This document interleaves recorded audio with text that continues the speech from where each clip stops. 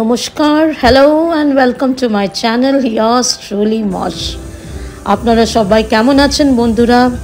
আমি আহমেদাবাদে আছি আর ভালো আছি। আজকে আর একটা নতুন ব্লগ নিয়ে আপনাদের সামনে চলে এসেছি। আশা করছি ব্লগটা আপনাদের ভালো লাগবে, শেষ পর্যন্ত নিশ্চয়ই দেখবেন। মেয়ের ঘরেরও একটা বাটিক প্রিন্টের গুজরাতে বাটিক প্রিন্ট বলছি টাই অ্যান্ড ডাই অনেকে এটা শিবরিও বলে। আমার রুমেরটা একটা গ্রিন এনেছিলাম, দেখিয়েছিলাম। মেয়ের রুমে আজকে পেতে দিয়েছি। ঝাড়ু পোছা করে গেছে মেয়েটা। তারপরে আস্তে আস্তে করে ঘরগুলো সেটিং করে দিলাম। আর এটা আমার আমি মৌসুমি, সেটা তো আপনারা এখন জেনেই নিয়েছেন। আমি বাঙালি আর আমি আমার কাজের উদ্দেশ্যতে পঁচিশ বছর ধরে সার্ভিসে আছি। নানান রকমের শহরে থেকেছি মেট্রোস মিনি মেট্রোস কিছুদিন বাইরেও থেকেছি, দেশের বাইরেও থেকেছি, কাজ করেছি। আর অনেকে আমাকে জিজ্ঞেস করছে, এই চ্যানেলটা বানানোর উদ্দেশ্যটা কি? আমার উদ্দেশ্যটা হলো, আপনারা খুব সুন্দর সুন্দর ভিডিওস ব্লগস তো দেখেন, গ্রাম্য জীবনের গ্রিনারি নেচার কিন্তু আমি এটা দেখাতে চাইছি যে একটা basic working class corporate women single women শহরে থেকে বাচ্চাদের দুটো ছোট্ট ছোট্ট বাচ্চা ছিল, এখন তো বড় হয়ে গেছে। গত আঠেরো বছর অবধি কীভাবে আমি জীবনটা কাটিয়েছি, একটা আরবান সেট আপে আরবান লাইফ আর তার মধ্যে দিয়েও কিন্তু চেষ্টা করেছি কখনো নিজেকে কোনো রকমের কম্প্রোমাইজ না করে, কোনো রকমের ডিসস্যাটিসফ্যাকশনে না থেকে। এর মধ্যেও যেভাবে হোক, যেরকম করে হোক, নিজেকে প্যাম্পার করেছি সেলফ লাভে বিলিভ করেছি, অনেকটাই নিজের যত্ন নিতে চেষ্টা করেছি। অবশ্য কোভিড আসা পর্যন্ত কোভিডের পর থেকে আমার স্বাস্থ্যটা একটু ডেটিরিওরেট করে গেছে, কিন্তু তাও লড়ে চলেছি, চেষ্টা করে চলেছি, কখনো থাম, থামিনি। আবার আশা করছি যে আবার নিজে, নিজের পায়ে খুব সুস্থভাবে দাঁড়িয়ে যাব। এটাই আমি দেখাতে চেষ্টা করছি বন্ধুরা। আজকে চলে এসেছি। নিজে একটা স্পা করতে অনেক দিন হয়ে গেছে। আমি হেয়ার স্পা করিনি, আমি এটা রেগুলার মাসে একবার করি। নিজেকে to have a good feeling to have a feel good factor for yourself কেউ নেই আমার সাথে আসার, কোনো ব্যাপার নেই। নিজে সময় বার করি, নিজেই চলে আসি। আর এই চলে এসেছি আমার ফেভারেট ফেভারেট যাত্রা, বইয়ের দোকান। লাইব্রেরি টাইব্রেরি যাওয়ার তো আর সুযোগ পাই না? ক্রসওয়ার্ডস যেদিন থেকে এই শপটা খুলেছে, খুঁজে বেড়াই যে যে শহরে গেছে, যে ক্রসওয়ার্ড দোকানটার শপটা কোথার থেকে পাবো? ভীষণ ভালো লাগে বই, নতুন নতুন বুকের গন্ধটা। বইগুলো খুলে খুলে শুকি আমি। এই গন্ধটাতেই একটা কেমন একটা নেশা হয়ে যায়। পঁচিশ বছর এই চাকরি কর্পোরেট লাইফে থাকাতে অনেক দূরে চলে গেছিলাম বুকস পড়ার থেকে অনেক অনেকটাই আমি সরে গেছিলাম। কিন্তু এখন যখন আমি একটা স্যাবাটিক্যালে আছি মানে ব্রেক নিয়েছি, আবার আমি চেষ্টা করছি আস্তে আস্তে করে যতটা বইয়ের মধ্যে ঢোকা যায়। যখন মানুষ একা থাকে, যখন কেউ সাথে থাকে না বুকস আর ইয়ার বেস্ট ফ্রেন্ডস আর তখন তা কাউকে দরকারও পড়ে না। বই পড়া অথবা যাকে বলে reading books is very important. It helps you not only to expand your knowledge, যেটাকে জ্ঞান বাড়ানো ওটা তো করেই বই কিন্তু তার চেয়েও বেশি ইম্পর্টেন্ট হলো যে বই পড়লেই you have a wonderful understanding of the world understanding of people understanding relationships understanding the psychology philosophy of life and this improves the cognitive functions আর বিশ্বাস করুন রিডিং বুক এত একটা পজিটিভ অ্যাডিকশন যদি অ্যাডিকশন অবশ্য কোনো জিনিসেরই এক্সট্রিমটা ভালো না but you know it immensely reduces stress levels আমার তো ভীষণ ওটা মানে it's a very relaxing function for me reading books it increases people's empathy creativity ভীষণ মানে এটা একটা ভীষণই positive kind of a relationship যেটা ডেভেলপ হয়।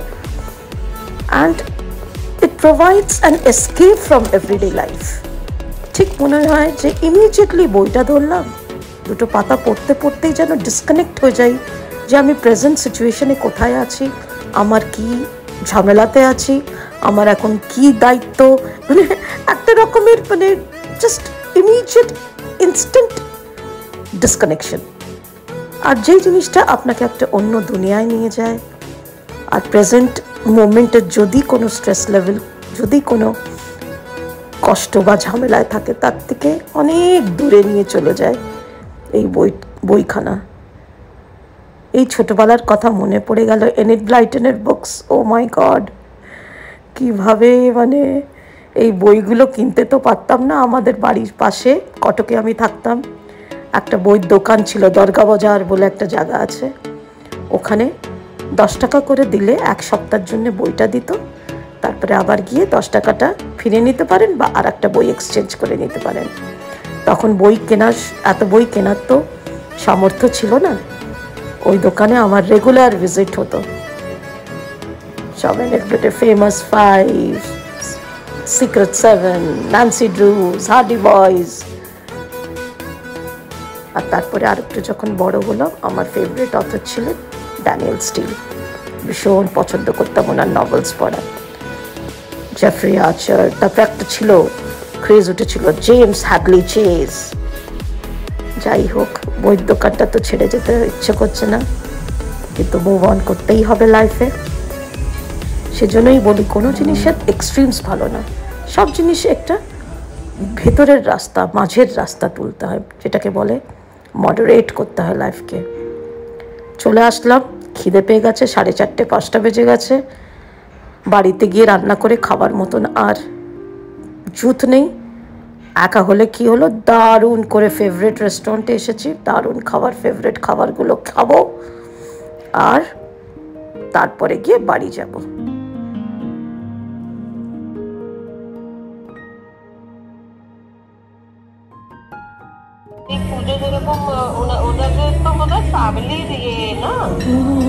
ফ্যামিলির ওদের যেটা। ও বাবা কি মানে ও সোনু তো অফিস আমার ছোট বোনের ফোন চলে আসলো। এই শনিবার রোববারেই ও সময় পায় একটু ফোন করার। কারণ ও চাকরি করে অনেক বড় পোস্টে এখন চাকরি করছে আমেরিকান একটা অর্গানাইজেশনের সঙ্গে। অ্যাকচুয়ালি আমার ছোট বোন হলো আমার bridge bridge between me and the outside world মানে আমার ফ্যামিলির সব ম্যাটার্স বলুন এক্সটেন্ডেড ফ্যামিলি ম্যাটার্স আমরা তো জয়েন্ট ফ্যামিলিতে মানুষ হয়েছি। আমাদের কাকা, জ্যাঠা, কাকিমা, জেঠিমা, আমাদের খুঁড়তো জারতো ভাইরা, বোনেরা, সব আমরা এক, একসাথেই মানুষ হয়েছি জীবনের প্রথম কুড়ি বাইশ বছর অবধি। সেজন্য আমাদের জন্য ওরা কাজিনস ব্যাপারটা না, সব নিজেরই ভাই বোনের মতন। তাই ওর কাছ থেকে খবর পাই ও কোথায় গেল আজ এই যে জানতে পারলাম আমার খুঁড়তো তো ছোট ভাই নিজে বাড়ি কিনেছে ব্যাঙ্গালুরুতে মানে আমার ছোট কাকার ছোট ছেলে তা তার ঘরের অনুষ্ঠান হয়েছে তাতে ও গেছিল কি পেয়েছে কি দিয়েছে কারা কারা এসেছে সব খবরগুলো আমার ছোট বোনের কাছ থেকেই পাই ও অনেক মিশুকে ও সবাইকার সঙ্গেই কানেক্টেড থাকে কেন খাচ্ছিস আর এই টাইমে কেন মাটন বিরিয়ানি খাচ্ছিস তুই দেরি হয়ে গেছে লাঞ্চ খাইনি একটু কাজে বেরিয়েছিলাম। আমি তোর দেওয়া শাড়িটা পরেছিলাম সম্বলপুরে সম্বলপুরের শাড়ি নতুন।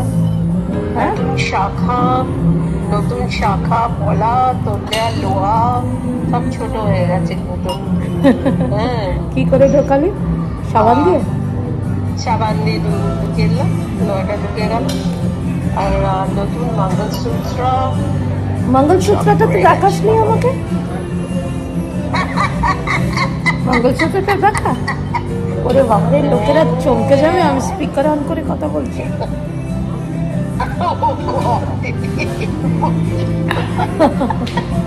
নাম দূরে। সেই জন্য ওর একটা ফোন আসলো মানে আমি বুঝতে পারি যে হ্যাঁ টুকটুক করে এখন সব খবরগুলো আমার কাছে চলে আসবে। আর পুজোর বাজারের ও কি কিনতে চায়, কি পাঠাতে চায়, এইসবই গল্প হচ্ছে। আমার বড় মেয়ে বেঙ্গালুরুতে থাকে, তাই আমার বড় মেয়ে শ্বেতলানা, সোনু, ও মাসির বাড়িতে যাতায়াত করে, তাই আমার মেয়েরও খবর টবরগুলো পেয়ে যাই ওর কাছ থেকে। এই আর কি। বেশ সময়টাও দারুণ কেটে গেল। আর সব খবরগুলোও পেয়ে গেলাম। এটা কোথা থেকে? কিনলি সেম দোকান? এটা এটা ক্যালকাটারই দোকান। আমি এখন খালি ক্যালকাটার থেকে কিনছি। সব লাইট ওয়েটের দারুণ দারুণ জিনিস পাওয়া যায় এখানে। আজকাল তো সব সুবিধা হয়ে গেছে নো? প্রবলেম চেষ্টা হ্যাঁ? কি? প্রফেশনাল হয়ে গেছে আমি না? নানান রকমের গল্প স্বল্প হয়ে গেল। আমাকে আবার দেখাতে হলো আমি কি কি খাচ্ছি। জিনিসগুলো কেমন দেখতে করে, বেশ আমারও সময়টা খুব ভালো কেটে গেল। গল্প করতে করতে খাবারটাও খেয়ে নিলাম। এখন একটা ডেজার্ট অর্ডার দিয়েছি, ফিরনি কেসর ফিরনি। পুরোটা খেতে পারব না, দু চামচ খেয়ে বলে দিলাম প্যাকিং করতে। বেশ কি সুন্দর দিনটা কেটে গেল। একা হলেও লোকজনের মধ্যে বেশ ঘুরে বেড়িয়ে নিজেকে প্যাম্পার করলাম, নিজের একটু যত্ন করলাম। আমার বোনের সঙ্গে কথাও হয়ে গেল গল্প হয়ে গেল উইকেন্ডটা কি সুন্দর কেটে গেল। আর নিজের অনেকগুলো টুকিটাকি কাজগুলো করে নিলাম বই কিনলাম প্ল্যানার কিনলাম যা যা দরকার ছিল। টুকটুক করে কিছু কিছু কসমেটিক্স পাউডার টাউডার বাড়ি শেষ হয়ে গেছিল। বেশ সুন্দর হয়ে গেল।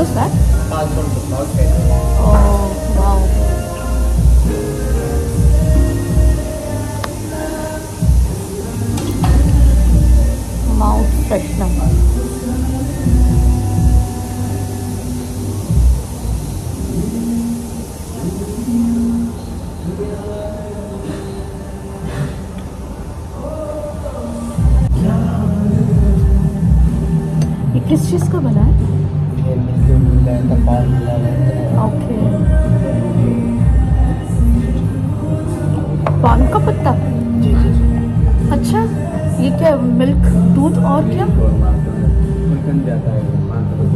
इसी तरह की हमारी चीज़ें क्रीम होती है वो जाती और पिलाओ no no no it's good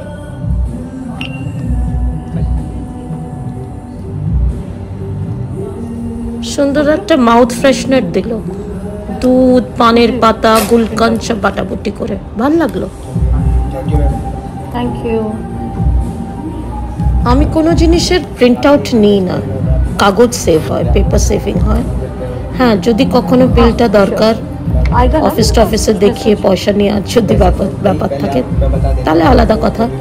না তো আমি ওই পেট্রোল পাম্পে হোক দোকানে হোক আননেসেসারিও যে প্রিন্ট আউট ডবল ডবল বার করে ওটা অ্যাভয়েড করতেই চেষ্টা করি।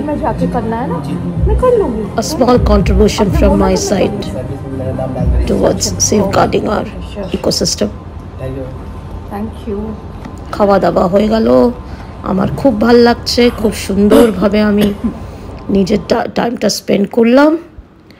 এখন ফেরার পথে আমি দেখছি এই একটা খুব সুন্দর স্যান্ডেলিয়ার তাই ভাবলাম আপনাদের দেখাই। আর এইটা একটা সুন্দর আর্টের ব্যাপারটা করেছে, কিন্তু এরকম মাথা মুন্ডু রাখেনি। মাথা মুন্ডুটা আছে, হাত পা রাখেনি। আমার মনে হয় মানুষগুলো আরও গোটা গোটা হলে আরও বেশি ভালো লাগতো।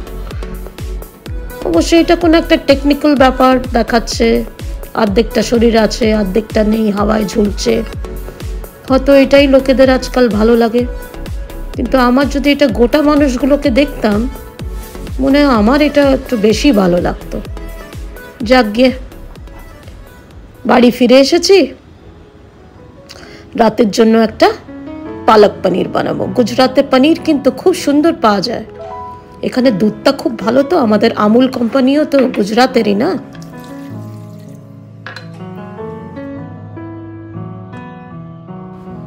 আমার দুই মেয়ের ভীষণ ফেভারিট পালক পনির, আর আমার হাতের পালক পনির ওরা খেতে খুব ভালোবাসে। আপনারা দেখুন আমি কীভাবে বানাই। এই যে টমেটোটাকে, টমেটো, পেঁয়াজ, আদা, রসুন, গরম মশলা, সব একসাথে আমি বেটে দিয়েছি। এই শর্টকাটে। আমি সবসময় বলি না, আমি শর্টকাটের রান্নাতেই বিশ্বাস করি। বেশ সুন্দর করে তেলে জিরে ফোড়ন দিয়েছিলাম, সুন্দর করে কষে নিলাম। এখন গুঁড়ো মশলা, লঙ্কার গুঁড়ো, জিরে, ধনে, হলুদ, নুন। সুন্দর করে আবার কষে নেব। ততক্ষণ অবধি কষবো, যতক্ষণ অবধি তেল উপরে ছেড়ে না যায়। আর এখন এই যে পালং শাকটাকে একটু গরম জলে ভেপে নিয়েছি, ভাপে, ভেপে নিয়েছি বন্ধুরা, সেদ্ধ করিনি। জাস্ট একটু গরম জলে ভেপে নিয়ে তাতে আমি চার টুকরো, চারটে কাঁচা লঙ্কা পাঁচটা, ছটা কাজু। ওইটা দিয়ে বেটেছি। এই যে মশলাটা কষানোর পরে পালংটা, শাকটাকে মিশিয়ে দিলাম, একটু গরম মশলা দিয়ে দিলাম। এখন সুন্দর করে কষাতে থাকব, একটু ঢেকেও কষিয়েছি। যতক্ষণ অবধি বেশ তেলটা ভেসে উঠেছে। এখন কসুরি মেথি দিয়ে দিলাম। এটা পাঞ্জাবি ডিশ পাঞ্জাবি ডিশটা কসুরি মেথি না দিলে ওই ওদের অথেন্টিক ফ্লেভারটা আসে না। পনিরটা যেটা গরম জলে ভিজিয়ে রেখেছিলাম, একটু নুন দিয়ে, ওইটাকে এখন মেশালাম। আর একটা চামচ বাটার দিয়ে দিলাম। দুধের মালাই যদি থাকে, সর যেটাকে বলে, ওইটাও ফেটিয়ে দিলে খুব সুন্দর হয়। এই যে আমার পালক পনির রেডি তাহলে বন্ধুরা, আজকে ব্লগটা আমি এখানেই শেষ করছি। আশা করছি আপনাদের ভালো লেগেছে। একটা বেসিক সিম্পল অর্বান লাইফ একটা সিঙ্গেল উমেন একটা উমেনের যে কোনো উমেন হোক, তার কি, কীভাবে কাটতে পারে সেটাই দেখাতে চেষ্টা করেছি। বাড়িতে এসে রান্নাবান্নাও করে দিলাম। আশা করছি আপনাদের ভালো লেগেছে। আমাকে সাপোর্ট করবেন সাবস্ক্রাইব করবেন, আর আমার সাথে থাকবেন। বাই